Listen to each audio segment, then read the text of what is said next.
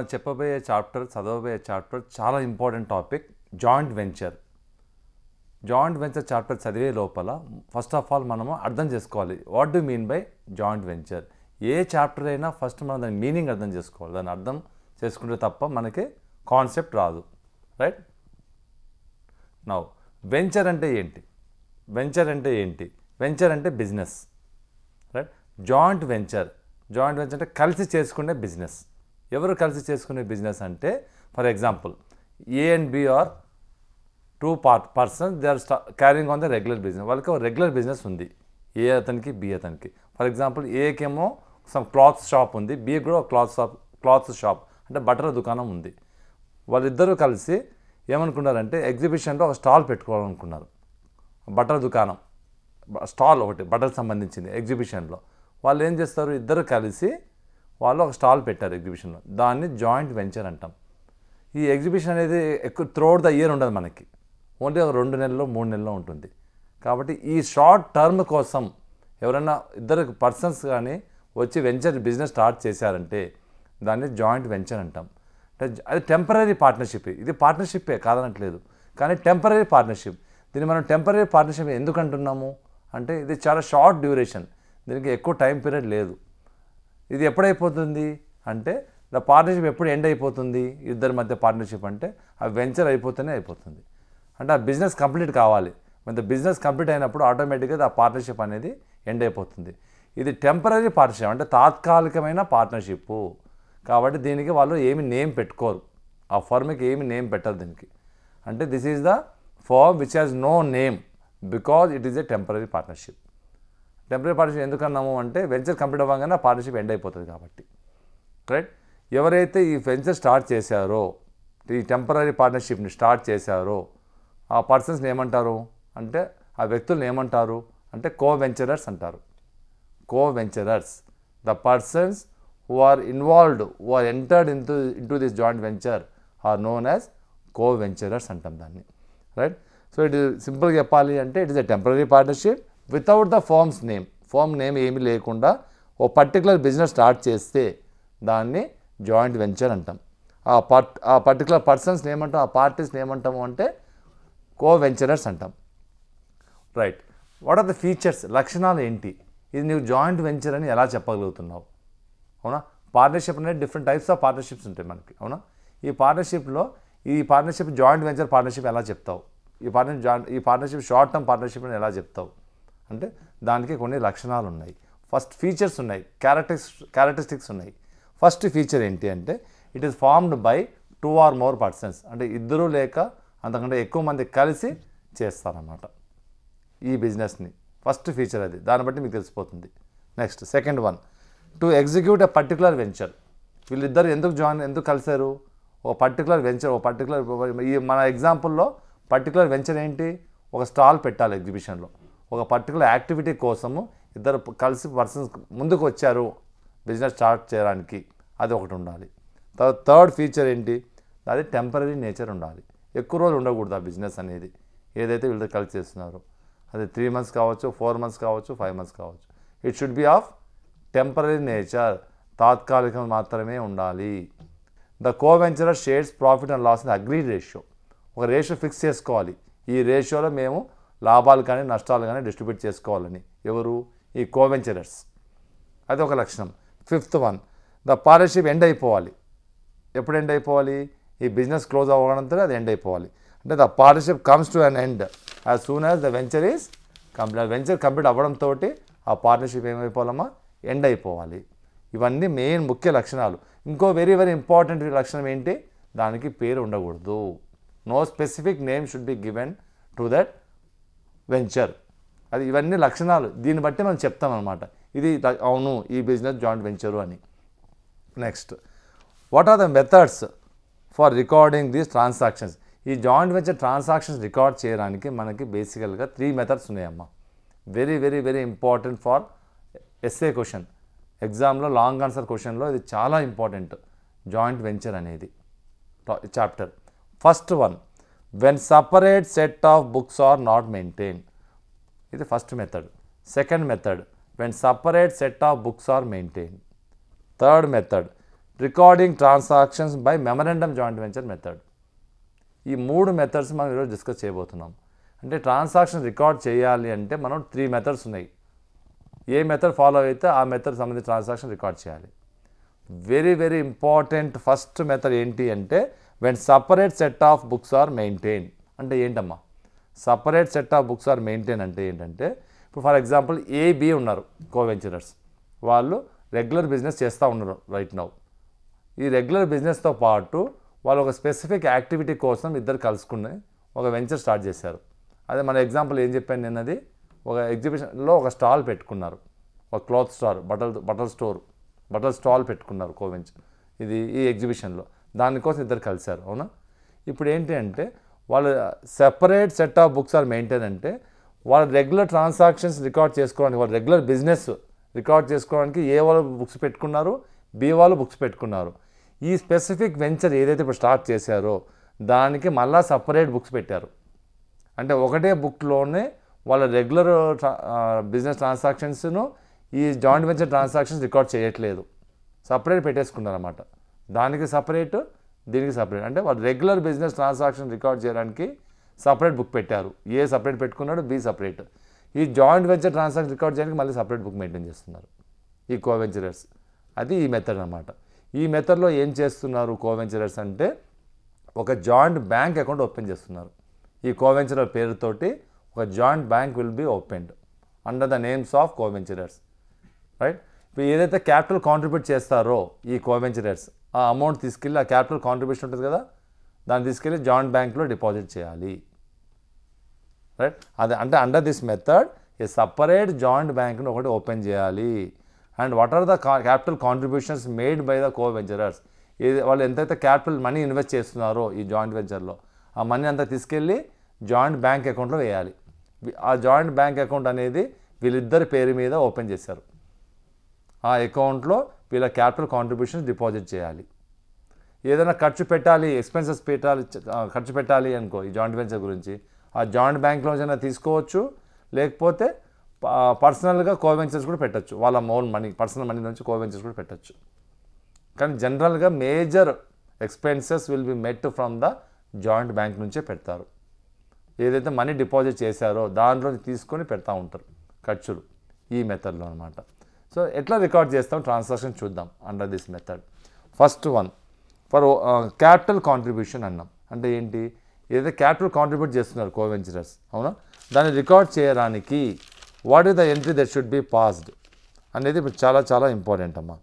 General ఏం రాస్తామా joint bank account debtor to coventurers account ఇది amount contributed by the coventurers ఇప్పుడు joint bank ఎందుకు రాశాను నేను?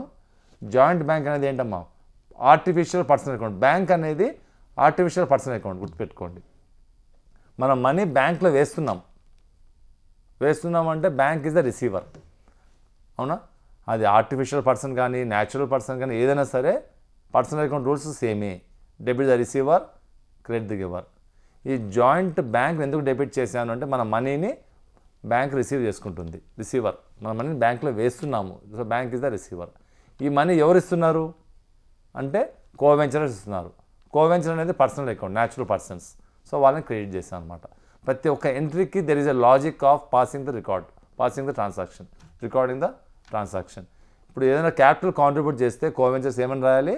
Joint venture account joint bank account debtor to coventures account అని రాయాలి.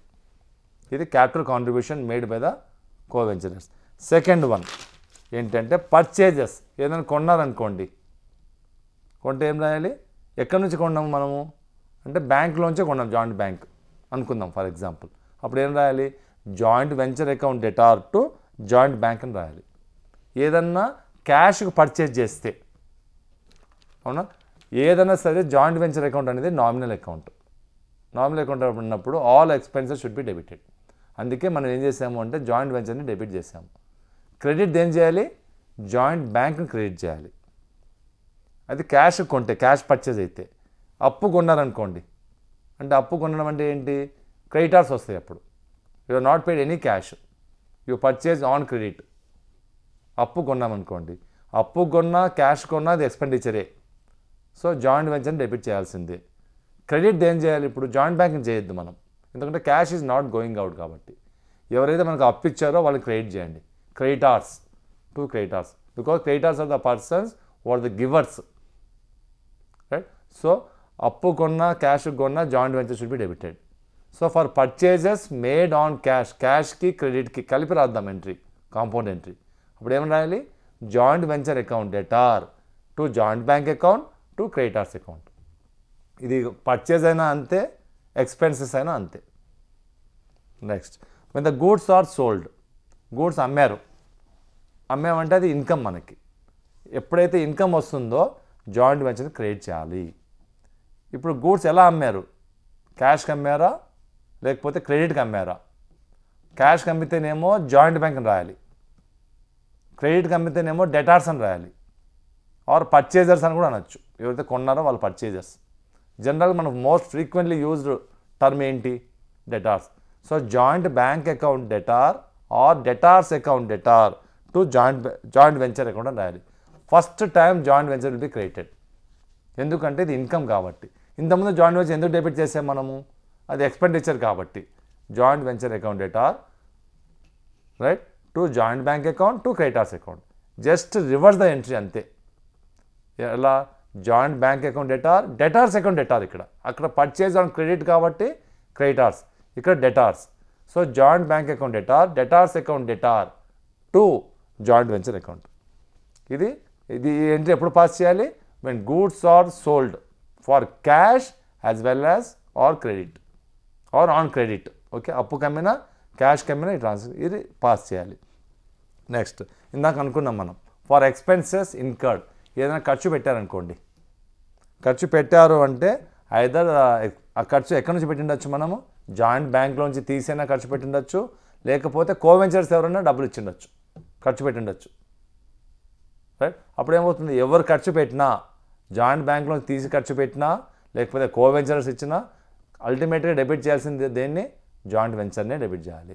So joint venture account debtor to joint bank account to coventurers account. Coventurers పెడితే co-ventures create చేయాలి. బ్యాంక్లోంచి పెడితే డబ్బులు బయటకు వెళ్ళిపోతున్నాయి. కాబట్టి బ్యాంక్ ఇస్తుంది కాబట్టి బ్యాంక్ని క్రియేట్ చేసాం దీని ఈ ఎంట్రీ దేనికి ఎప్పుడు పాస్ చేయాలి? For the expenses incurred by the incurred for the joint venture. Next. When shares or debentures are taken by the coventurers ఒక్కోసారి ఏమవుతుందంటే కోవెంచరర్స్ షేర్స్ కానీ డిబెంచర్గా తీసుకెళ్ళిపోతారు. ఆటోమేటిక్గా తీసుకెళ్ళిపోతే ఏం రాయాలి? కోవెంచర్స్ ఏం చేయాలి? డెబిట్ చేయాలి. జనరల్గా మనం చేసే పని రైట్ రైట్ అప్పుడు ఏం రాయాలి? జాయింట్ వెంచర్ అకౌంట్ డెటార్ అంటే లాస్కి ఏమైనా తీసుకెళ్ళారు అనుకోండి ఫర్ ఎగ్జాంపుల్ అప్పుడు జాయింట్ వెంచర్ డెబిట్ చేయాలి. కోవెంచర్స్ అకౌంట్ డెటార్ కోవెంచర్ అంటే పర్సనల్ అకౌంట్ కదా కాబట్టి వాళ్ళు డెబిట్ చేసాం to shares or debentures account అవి వెళ్ళిపోతున్నాయి. షేర్స్ అండ్ డిబెంచర్స్ వెళ్ళిపోతే ఏం చేయాలి? Credit what goes out debit what comes in credit what goes out అవి వెళ్ళిపోతున్నాయి కాబట్టి దాన్ని క్రెడిట్ చేయాలి. టూ మళ్ళీ అగైన్ జాయింట్ వెంచర్ క్రెడిట్ చేయాలి. ఎప్పుడు ఎందుకు చేయాలి? ఒకవేళ ప్రాఫిట్కి తీసుకుంటే. కోవెంచర్ ప్రాఫిట్కి తీసుకుంటేనేమో జాయింట్ వెంచర్ క్రెడిట్ చేయాలి. లాస్కి తీసుకుంటేనేమో జాయింట్ వెంచర్ డెబిట్ చేయాలి. ఇది చాలా చాలా ఇంపార్టెంట్ లాస్ వచ్చినప్పుడు జాయింట్ వెంచర్ డెబిట్ చేయాలి. సింపుల్ లాజిక్ ప్రాఫిట్ వచ్చినప్పుడు జాయింట్ వెంచర్ని క్రియేట్ చేయాలి. కోవెంచర్ తీసుకుంటున్నారు కాబట్టి కోవెంచర్స్ని డెబిట్ చేయాలి పర్సనల్ అకౌంట్. క్రెడిట్ ఏం చేయాలి? ఏవి ఏం తీసుకుంటున్నాడు వాడు? షేర్స్ అండ్ డిబెంచర్స్ తీసుకుంటున్నాడు. అవి బయటకు వెళ్ళిపోతున్నాయి కాబట్టి దాన్ని క్రెడిట్ చేయాలి. ఇది when shares or debentures are taken over by the shares కానీ డిబెంచర్స్ కానీ ఏదైనా కానీ they be taken over by the coventurers next for profit on joint venture joint venture account వేశారు ఇప్పుడు. ఈ ట్రాన్సాక్షన్ అన్ని జాయింట్ వెంచర్లో రికార్డ్ చేశారు. జాయింట్ వెంచర్ అనేది నామినల్ అకౌంట్ అవునా? నామినల్ అకౌంట్లో క్రెడిట్ సైడ్ ఎక్కువ వస్తే ప్రాఫిట్ ఈ ప్రాఫిట్ ఏం చేయాలి మనం ఇప్పుడు? కోవెంచర్స్కి ట్రాన్స్ఫర్ చేయాలి. ట్రాన్స్ఫర్ చేసినప్పుడు ఆటోమేటిక్గా ఏమవుతాయమ్మా? కోవెంచర్స్ యొక్క ప్రా పెరుగుతాయి లేదా బ్యాలెన్సెస్ సో అప్పుడు ఏం రాయాలి? Joint venture account debtor to coventurers account అని రాయాలి. Right next for payment of amount due to coventurers కోవెంచర్కి payment చేయాలి. వాళ్ళ అకౌంట్ సెటిల్ చేసేసాలి ఇప్పుడు. సెటిల్ చేసేసామంటే కోవెంచర్ డబ్బులు రిసీవ్ చేసుకుంటున్నారు వాళ్ళు. సో అప్పుడు ఏం రాయాలి? Coventurers account debtor to bank account అని రాయాలి. Coventurer account debtor to bank joint bank అని రాయాలి ఇక్కడ. ఎందుకంటే మనం జాయింట్ బ్యాంక్ అకౌంట్ ఓపెన్ చేసాం కదా ఏదైనా సెటిల్మెంట్ చేయాలన్నా కొనాలన్నా ఎక్స్పెన్స్ ఖర్చు పెట్టాలన్నా జాయింట్ బ్యాంక్ని క్రియేట్ చేయాలి. డెబిట్ ఎవరు చేయాలి? కోవెంచరస్ని డెబిట్ చేయాలి. అందుకే coventurers account debtor to joint bank account అని రాసాం right this this are the entries ఏ మెథడ్లో మా ఎంట్రీస్ అన్నీ? When separate set of books are maintained. ఇప్పుడు చూడబోయే మెథడ్ సెకండ్ మెథడ్ ఏంటి అంటే when uh, a separate set of books are not maintain అనమాట for recording joint venture transaction separate set of books maintain చేయకపోతే right what are the journal entry that should be pass A journal entries pass చేయాలి for recording the transactions first one ఈ method ఏంటి అంటే first of all ఈ మెథడ్లో మనం ఏం చేయబోతున్నాము అంటే ప్రతి ఒక్క కోవెంచర్ ఏం చేస్తాడు అంటే జాయింట్ వెంచర్ అకౌంట్ ఓపెన్ చేస్తాడు. And other coventurer account open చేస్తాడు. అంటే వాడి ట్రాన్సాక్షన్ రికార్డ్ చేయడు. జాయింట్ వెంచర్ ఇక్కడ ఓపెన్ చేసి అదర్ కో వెంచర్ అకౌంట్ రికార్డ్ చేస్తాడు ఇక్కడ. ఇది ఈ separate set of books are not మెయింటైన్లో right? అప్పుడు ఏం చేయాలి first? Purchases and expenses record చేయాలి. ఏదో గూడ్స్ కొన్నాడు. లేదా గూడ్స్ ఖర్చు పెట్టాడు జాయింట్ వెంచర్ గురించి. అప్పుడు ఏ మెథడ్లో అయినా గుర్తుపెట్టుకోండి జాయింట్ వెంచర్ అకౌంట్ అనేది నామినల్ అకౌంటు జాయింట్ వెంచర్ని డెబిట్ చేయాలి. So joint venture account debtor to bank account. మనం ఖర్చు పెడితేనేమో క్యాష్ బయటకు వెళ్ళిపోతుంది. So cash or bank account. To creditors account. అప్పు కొన్నారనుకోండి ఇందాక చూసాం మనం. Joint venture account debtor to bank account to creditors account. Last మనం చూసిన మెథడ్కి ఈ మెథడ్కి డిఫరెన్స్ ఏంటి? అక్కడ జాయింట్ బ్యాంక్ అని రాస్తాము ఇక్కడ ఒకటి బ్యాంక్ అని రాస్తున్నాం. అంతే difference. Right. Second one. For the goods purchased and expenses incurred by other coventurers. మనం కొనలేదు గూడ్స్. వేరే కోవెంచర్ కొన్నాడు. అప్పుడు మనం ఏం రాయాలి? ఎవరు కొన్నా మనం కొన్నా అది వేరే కొన్నా కూడా జాయింట్ వెంచర్ని డెబిట్ చేయాలి. So joint venture account debtor to other coventurers అని రాయాలి. అదర్ కో కోవెంచర్స్ ఎందుకు క్రియేట్ చేశాను నేను? అంటే బికాజ్ ఈజ్ గివర్ కాబట్టి. వాడు కొన్నాడు on behalf of the firm. So joint venture account debtor to coventurers account అని రాయాలి. ఎప్పుడు గూడ్స్ అదర్ కోవెంచర్ కొంటే మనం కొంటేనేమో జాయింట్ వెంచర్ టు క్యాష్ బయటకు వెళ్ళిపోతుంది కాబట్టి. Next when goods are sold on cash or credit మనం గూడ్స్ అమ్మాం. అమ్మినప్పుడు జనరేట్ ఏం రాయాలి? అప్పు కన్నా కావచ్చు క్యాష్ కన్నా కావచ్చు. So cash or debtors account debtor అప్పు కొంటేనేమో డెటార్స్ డెబిట్ చేయాలి. కస్టమర్స్ని డెటార్స్ అంటాం. టు జాయింట్ వెంచర్ అకౌంట్ మళ్ళీ మళ్ళీ చెప్పాను. జాయింట్ వెంచర్ ఎందుకు క్రియేట్ చేసాము బికాజ్ అది ప్రాఫిట్ కాబట్టి. అందుకే క్రియేట్ చేసాం జాయింట్ వెంచర్ మనం క్రెడిట్ చేసేది మ్యాక్సిమం సేల్స్ అప్పుడే. మిగతా అన్ని కేసులు లాసే కాబట్టి జాయింట్ వెంచర్ డెబిట్ చేస్తాం. Next when any commission is receivable by the coventurer ఏదైనా కమిషన్ రావాలి నాకు. ఎవరైతే రికార్డ్ చేస్తున్నారో వాడికి కమిషన్ రావాలి. సో అది జాయింట్ వెంచర్కి లాసే కదా? కో వెంచర్కి profit joint venture account debtor to commission account అని రాయాలి. వాడికి రావాల్సింది అయితే కమిషన్. కమిషన్ అనేది ఇన్కమ్. ఇన్కమ్ అన్నీ క్రెడిట్ చేయాలి. ఏదైనా కమిషన్ పే వాడికి రావాల్సిన కమిషన్ ఉంటే. ఒకవేళ కమిషన్ వేరే కోవెంచర్ అదర్ కోవెంచర్కి రావాల్సి ఉంటే joint venture account debtor to other coventurer account అని రాయాలి. వేరే కోవెంచర్ని క్రియేట్ చేయాలి. ఎందుకంటే ఎందుకంటే వాడికి రావాలి కాబట్టి. మనకి రావాలి అంటే ఎవరైతే రికార్డ్ చేస్తున్నారో ట్రాన్సాక్షన్స్ కోవెంచర్ వాడికి రావాల్సి ఉంటే కమిషన్ క్రియేట్ అవుతుంది. వేరే కోవెంచర్ రావాలంటే వాడిని క్రియేట్ చేస్తాం. ఈ రెండు మీద ఈ రెండు ట్రాన్సాక్షన్స్లో సిమిలర్ థింగ్స్ మీరు అబ్జర్వ్ చేస్తే జాయింట్ వెంచర్ని డెబిట్ చేసాం కమిషన్ వీటికి పే చేయాలి పే చేయాలన్నా వేరే కోవెంచర్కి పే చేయాలన్నా లాసే కదా. సో జాయింట్ వెంచర్ డెబిట్ చేసాం next if unsold stock is taken over by coventurer ఏదైనా స్టాక్ మిగిలిపోయింది. అన్సోల్డ్ స్టాక్ అది తీసుకెళ్ళిపోతున్నాడు కోవెంచర్ తీసుకెళ్ళిపోతే ఏం రాయాలి? వీడు తీసుకెళ్ళిపోతేనేమో goods or purchase account debtor to joint venture అని రాయాలి. Again second time joint venture create అయింది. అబ్జర్వ్ చేశారా? ఫస్ట్ టైం ఏమో సేల్ చేసినప్పుడు జాయింట్ వెంచర్ క్రియేట్ అయింది. బికాజ్ ఇట్స్ ఎ ప్రాఫిట్ కాబట్టి. ఏదైనా అన్సోల్డ్ స్టాక్ ఏదైనా స్టాక్ మిగిలిపోయాయి అనుకోండి వెంచర్లో. కో వెంచర్ తీసుకెళ్ళిపోతే వాడు ఎవరైతే రికార్డ్ చేస్తున్నారో ఇక్కడ వెరీ వెరీ ఇంపార్టెంట్ పాయింట్ అమ్మా. ఇక్కడ ఎవరైతే రికార్డ్ చేస్తున్నారో కోవెంచరర్ వాడు తీసుకెళ్తేనేమో వాడు ఏం చేస్తాడు? Purchase account debtor to joint venture అని రాస్తాడు. రైట్ అదే వేరే కోవెంచర్ తీసుకెళ్ళిపోతేనేమో వాడిని డెబిట్ చేయాలి అంతే. అప్పుడు ఏమొస్తుంది? Even unsold stock is taken over by other coventurer అంటే ఎవరు తీసుకెళ్తున్నా వాడిని డెబిట్ చేయాలి. Coventurer account debtor to joint venture ఇదే సింపుల్ బెస్ట్ టెక్నిక్ మీరు ఇలా గుర్తుపెట్టుకోగలిగితే జనరేటర్స్ అసలు మీరు ప్రిపేర్ కాకుండా రాయొచ్చు ఎగ్జామ్ వాడు తీసుకెళ్తేనేమో goods or purchase account debit చేయాలి. రెండు కేసుల్లో జాయింట్ వెంచర్ క్రియేట్ అవుతుంది. సో ఈ షుడ్ నాట్ వరి అప్పుడు మీరు క్రెడిట్ పార్ట్ గురించి వర్రీ కావద్దు. మీరు వర్రీ కావాల్సింది ఓన్లీ డెబిట్ పార్టే నేను తీసుకెళ్ళిపోతేనేమో నేను నన్ను డెబిట్ చేసుకోలేను. ఎందుకంటే నేనే రికార్డ్ చేస్తున్నాను ట్రాన్సాక్షన్స్ కాబట్టి పర్చేజ్ని డెబిట్ చేయాలి. Goods or purchases to joint venture ఇంకో కోవెంచర్ తీసుకెళ్ళిపోతేనేమో వాడిని క్రెడిట్ చేయాలి. వాడిని డెబిట్ చేయాలి. Coventurers account account debtor to joint venture అని. రెండు కేసుల్లో కూడా జాయింట్ వెంచర్ క్రియేట్ అవుతుంది. మొత్తం అన్ని ట్రాన్సాక్షన్ మనం ఇప్పుడు అబ్జర్వ్ చేస్తే ఇప్పటిదాకా రాసిన దానిలో జాయింట్ వెంచర్ని ఎప్పుడు క్రియేట్ చేసామని సింపుల్ టెక్నిక్ గుర్తుపెట్టుకోండి. ఒకటి సేల్స్ చేసినప్పుడు అంటే గూడ్స్ అమ్మినప్పుడు క్యాష్కి కానీ క్రెడిట్ కానీ ఇంకో case ఎప్పుడమ్మా? When any unsold stock is taken over ఏదో స్టాక్ మిగిలిపోయింది తీసుకెళ్ళిపోయినప్పుడు. ఈ రెండు కేసుల్లో మాత్రమే జాయింట్ వెంచర్ క్రియేట్ అయింది. Next transaction balance in joint venture will represent profit or loss shared by the coventurers అంటే ఏంటి? లాస్ట్ మళ్ళీ సేమ్ జాయింట్ వెంచర్ బ్యాలెన్స్ చేయాలి మీరు అకౌంట్ని ప్రాఫిట్ లాస్ తెలుసుకోవాలి కదా.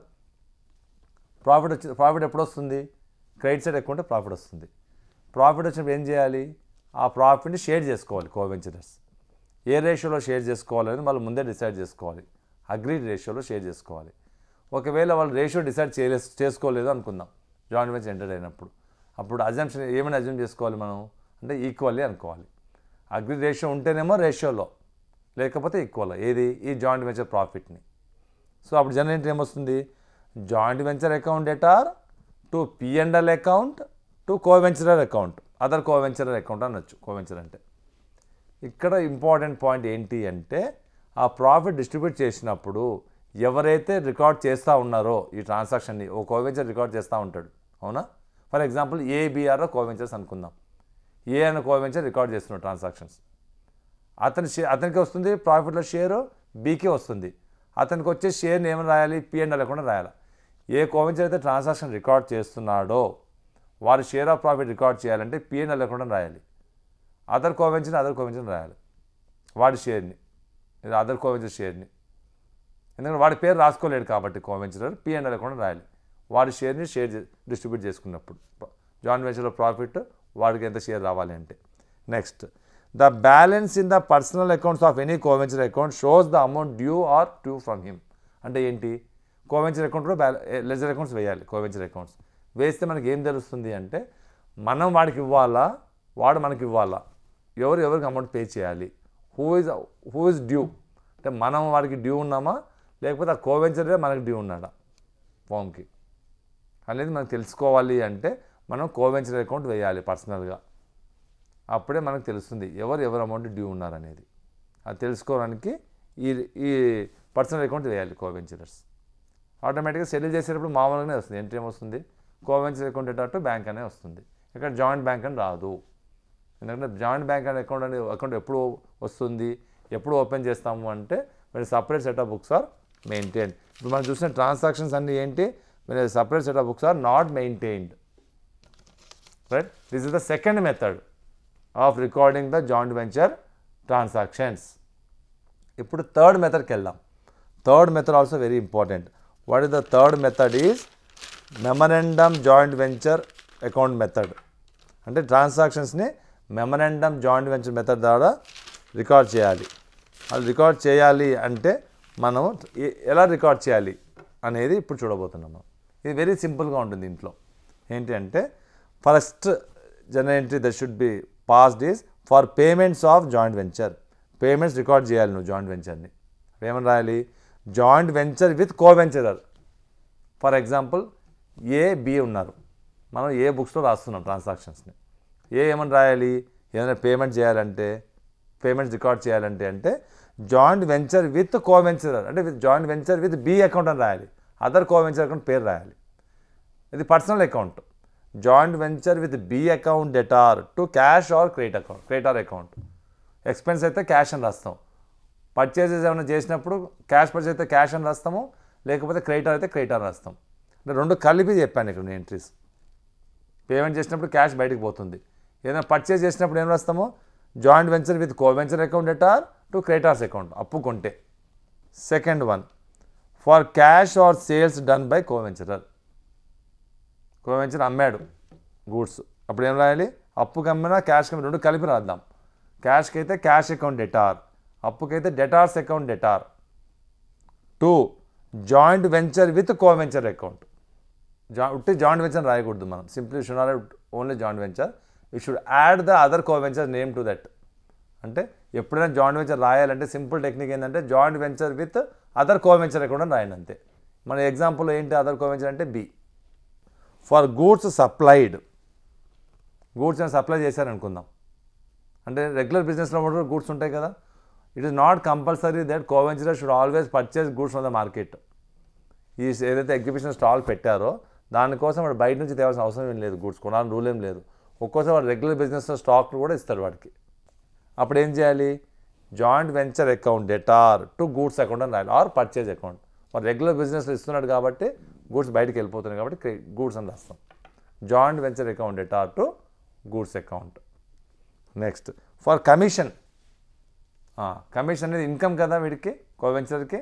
So income should be created. అప్పుడు ఏం రాయాలి? Joint venture with other coventure account debtor to commission account. అన్నిట్లో ఇంట్రెస్ట్ సేమే. ఓన్లీ డిఫరెన్స్ ఏంటి అంటే ఇక్కడ అదర్ కోవెంచర్ యాడ్ చేయాలంతే. ఇంతకుముందు ప్రాబ్లం మనం అలాగే రాసాం. Joint venture account debtor to commission రాసాం ఇంతకుముందు మెథడ్లో. When separate set of books are not maintain అన్నప్పుడు. అక్కడ కూడా కమిషన్ ఏం రాసాం జాయింట్ వెంచర్ టు కమిషన్ రాసాం ఇక్కడ ఏం రాస్తున్నాము? Joint venture with coventure account account or to commission అంటున్నాం. అంతే తేడా. అదర్ కోవెంచర్ నేమ్ యాడ్ చేస్తున్నాం జాయింట్ వెంచర్కి ద నేచర్ ఆఫ్ అకౌంట్ ఏంటంటే పర్సనల్ అకౌంట్ ఇక్కడ. Next for profit sharing profit share చేసుకోవాలి. అలాగే ఏం రాయాలి? జాయింట్ వెంచర్ అండ్ మామూలుగా అయితే ఏం రాసేవాళ్ళం? సపరేట్ సెట్ ఆఫ్ బుక్స్లో అందుకే ఒక మెథడ్కి ఒక మెథడ్కి జస్ట్ డిఫరెన్స్ అబ్జర్వ్ చేయండి. అప్పుడు మీరు అన్ని మెథడ్స్ బై హార్ట్ చేసిన అవసరం లేదు ఎంట్రీస్ జస్ట్ యాడ్ చేయడమే ఇక్కడ. నార్మల్గా అయితే ఏం రాస్తాము? Joint venture account debtor to PNL account రాస్తాం. వాటి షేర్ రాయాలంటే. అప్పుడు joint venture with other co venture account debtor to PNL account ఇది దేనికి? ఫర్ ప్రాఫిట్ షేరింగ్కి ప్రాఫిట్ షేర్ చేసుకోవాలి అంటే. ఈ ట్రాన్సాక్ ఇలా రాయాలి. క్లియర్ ఒకవేళ లాస్ వచ్చింది అనుకోండి జస్ట్ రివర్స్ చేయండి దాని ముందు ఎంట్రీని ఎలా? PNL account debtor to joint venture with other coventure account అని.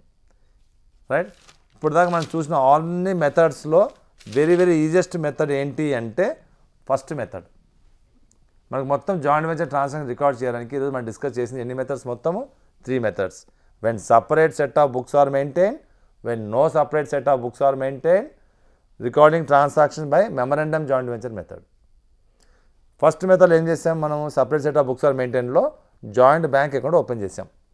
కోవెంచర్ పేర్లతోటి. రైట్ సెకండ్ మెథడ్లో ఏం చేసాము? మనం నార్మల్గా ఎంట్రీస్ పాస్ చేసుకుంటూ వెళ్ళిపోయాం. ఆ మెథడ్లో ఏంటంటే ఈచ్ కోవెంచర్ ఏం చేస్తాడంటే joint account other coventure account అన్నీ ఓపెన్ చేస్తాడు. రైట్ ఈ మెమరెండమ్ జాయింట్ వెంచర్ మెథడ్ అకౌంట్లో ఏం చేస్తాడు వాడు? అంటే వాడు ఓన్లీ వాటి ట్రాన్సాక్షన్స్ మాత్రమే రికార్డ్ చేస్తూ ఉన్నాడు ఇక్కడ. ఫైనల్గా మనకు తెలిసింది ఏంటి జాయింట్ వెంచర్లో అంటే ఇట్ ఈస్ సమప్ చేసుకోవాలంటే కంక్లూడ్ చేసుకోవాలంటే జాయింట్ వెంచర్ అనేది it is a temporary partnership right నా పర్సన్స్ పార్టీస్ ఎవరైతే ఉన్నారో ఈ జాయింట్ వెంచర్లో వాళ్ళని కో వెంచరర్స్ అంటాము.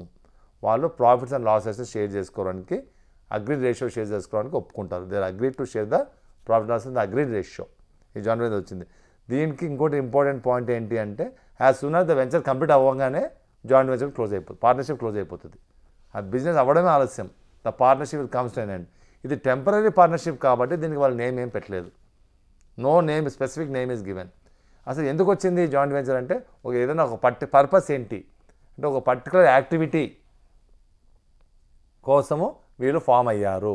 ఆ పర్టికులర్ యాక్టివ్ మన ఎగ్జాంపుల్ ఏమనుకున్నామంటే ఒక స్టాల్ పెట్టుకోవడం ఎగ్జామ్ ఎగ్జిబిషన్లో వాళ్ళు వాళ్ళు as per the routine activities carry అవుతూనే ఉన్నాయి. వాళ్ళ రెగ్యులర్ యాక్టివిటీ రెగ్యులర్ బిజినెస్ ఉండనే ఉంది వాళ్ళకి. In addition to the regular బిజినెస్కి వాళ్ళు కూడా మళ్ళీ ఓ స్పెసి స్పెసిఫిక్ పర్పస్ కోసము they join together for and they want to do business jointly అనమాట ఇది. This are the very very important introduction part of joint venture along with the recording of joint venture transactions under three methods right thank you